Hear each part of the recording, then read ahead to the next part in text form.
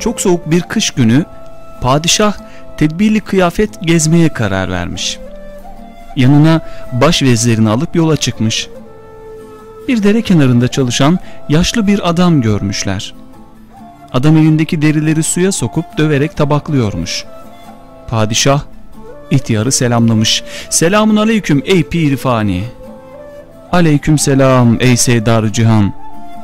Padişah sormuş. Altılarda ne yaptın? Altıya altı katmayınca 32'ye yetmiyor.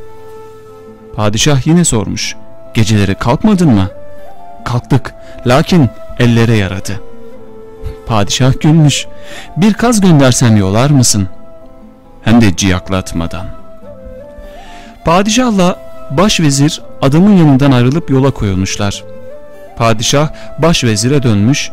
Ne konuştuğumuzu anladın mı? Hayır padişahım. Padişah sinirlenmiş. Bu akşama kadar ne konuştuğumuzu anlamazsam kelleni alırım. Korkuya kapılan başvezir padişahı saraya bıraktıktan sonra telaşla dere kenarına dönmüş. Bakmış adam hala orada çalışıyor. Ne konuştunuz siz padişahla? Adam başveziri şöyle bir süzmüş. Kusura bakma bedava söylemem ver bir yüz altın söyleyeyim. Başvezir yüz altın vermiş. Sen padişahı Serdarı Cihan diye selamladın. Nereden anladın padişah olduğunu? Ben dericiyim. Onun sırtındaki kürkü padişahtan başkası giyemezdi.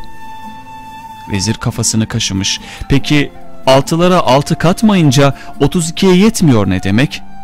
Adam bu soruya cevap vermek için de bir yüz altın daha almış. Padişah 6 aylık yaz döneminde çalışmadın mı ki kış günü çalışıyorsun diye sordu. Ben de yalnızca 6 yaz değil 6 ayda kış çalışmazsak yemek bulamıyoruz dedim. 32 ise ağızdaki dişten kinaye. Vezir bir soru daha sormuş. Geceleri kalkmadın mı ne demek? Adam bir yüz altın daha almış. Çocukların yok mu diye sordu. Var ama hepsi kız. Evlendiler. Başkasına yaradılar dedim. Vezir yine kafasını sallamış. Bir de kaz gönderirsem dedi. O ne demek? Adam gülmüş. Onu da sen bul.''